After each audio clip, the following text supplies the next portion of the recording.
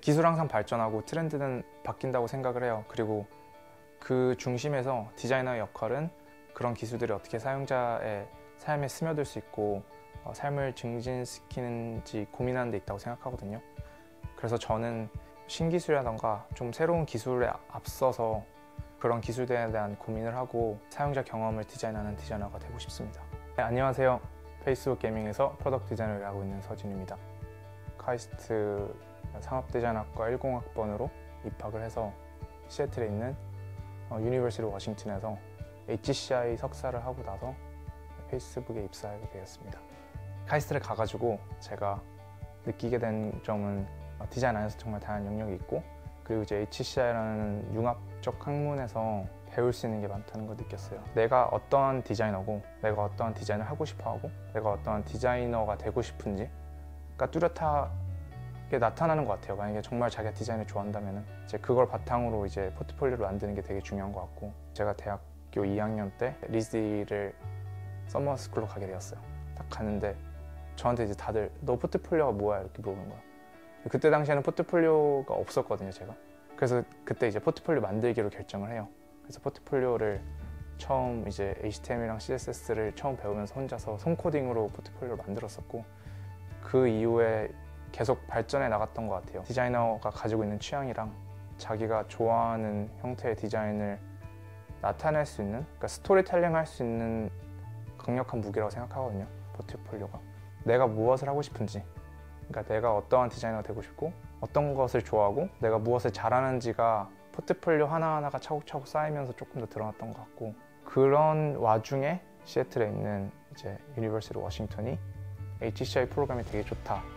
그래서 제가 가진 옵션 중에선 가장 좋다는 어, 추천을 받아가지고 미국에 오게 되었습니다. 첫 3개월 정도는 되게 우울했어요. 시애틀 날씨가 그때 당시 가을 날씨가 되게 우울한 것도 있었고 내가 뭘 잘하는지에 대해서도 설명할 길을 뒀고 그냥 저는 거기 학교에 있는 한 절반 정도의 그냥 어, 평범한 유학생이었던 거예요. 거기서부터 이제 아 내가 내 자신을 조금 더 사람들한테 드러내고 내가 뭘 잘하고 내가 어떤 존재인지 조금 드러낼 필요가 있다 해가지고 또 다시 포트폴리오를 잡고 거의 매일 진짜 포트폴리오 붙잡고 있었던 것 같아요. 하루에 최소 1시간 정도 포트폴리오를 바라보는 시점도 많이 생각했어요. 이제 예전에는 이제 포트폴리오를 내 작품을 일단 저장하고 기록하고 수납할 수 있는 공간이었다고 생각했으면은 recruiter라던가 인사 담당자가 본다는 시점에서 포트폴리오를 재구성하게 되었고 그래서 이제 UX적으로 봤을 때 사용자가 recruiter 아니면은 뭐 이제 interviewer라는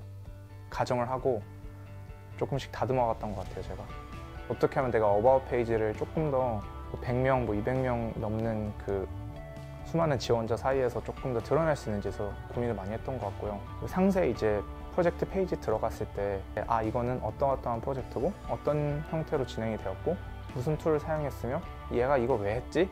라는 게 바로 명시될 수 있도록 하는 게 중요하다 생각해가지고 그런 부분도 되게 많이 신경 썼던 것 같고 계속 이제 방문자 기록했어요. 기록을 하고 찾아봤던 것 같아요. Hotjar라는 tool이 있는데 그게 이제 heatmap 이제 마우스 마우스 포인터라든가 스크롤 같은 거를 heatmap으로 분석해가지고 사용자가 어떠한 행동을 하는지 이제 알려주는 정말 좀 간단한 UX 분석 tool이거든요. 그걸 사용해가지고 이제 사용자들이 얼만큼 scrolling 하고 그리고 웹사이트에서 이제 meta 텍스트라던가 이제 디테일 텍스트 같은 것들이 뭐 좌측으로 정렬됐을 때 우측으로 정렬됐을 때 어떻게 보이는지 이런 것도 고민 되게 많이 했던 것 같고 그러다가 이제 구글에 지원을 했었어요 인턴. 제가 되게 이제 구글 인턴 지원하는 과정에서 되게 재밌었던 부분은 다른 기업들은 너는 인턴이고 너가 아마 하게 될 일은 이 일일 거야. 너는 이 팀에서 이런 일을 하게 될 건데 인턴십 볼래 말래였고 구글 같은 경우는 이제 저에게 선택권을 줬던 것 같아요. 너가 뭘 좋아하고, 너가 뭘 잘하는지를 이제 구글 폼으로 작성해가지고 어떤 팀에서 일하고 싶은지를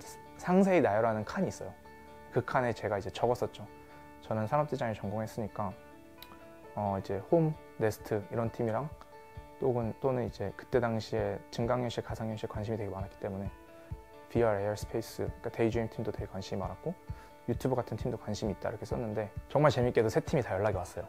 팀 매칭 할 때 제가 동시에 이제 세 팀이랑 같이 인터뷰를 보게 되었거든요. 최종적으로는 제가 원하는 가장 원하는 팀이 이제 데이드림 팀이었기 때문에 HCI 포커스로 선행 디자인하는 팀에 갔었는데 5년, 10년 앞 앞에 어떠한 증강현실 tool들이 나올지에 대해서 같이 고민할 수 있었던 좋은 계기였던 것 같습니다. 내가 미국에 있으면서 인턴십을 할 수 있는 기회가 딱 한 번뿐이잖아요.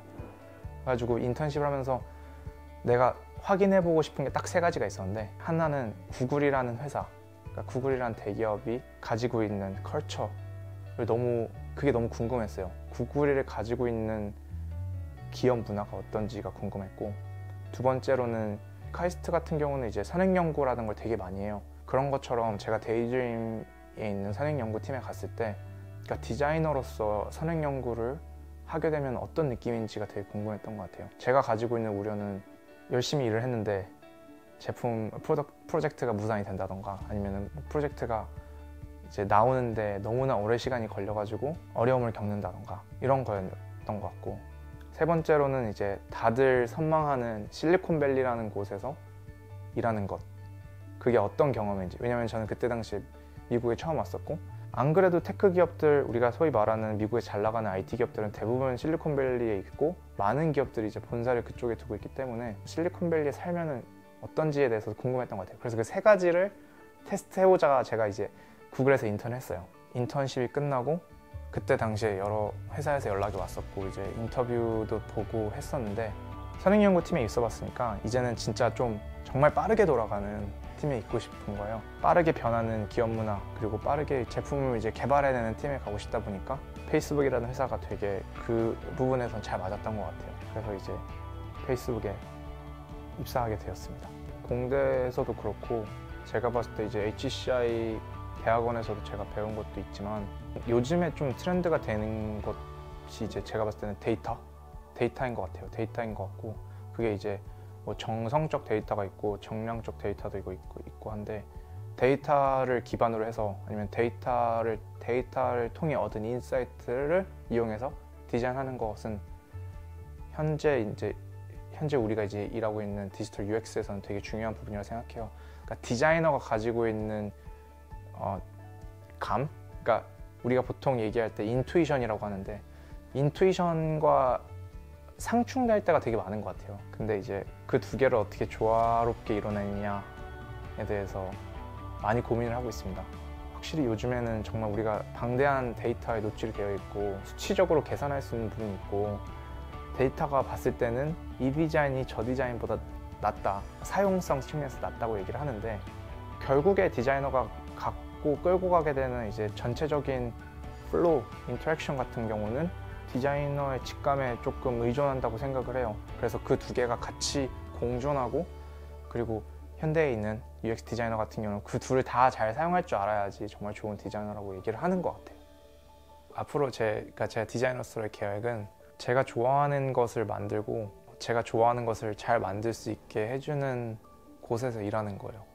제가 5년 뒤에 나는 어디 어디서 무슨 일을 할 거야 라기보다는 제가 흥미를 느끼는 일을 하고 싶어요.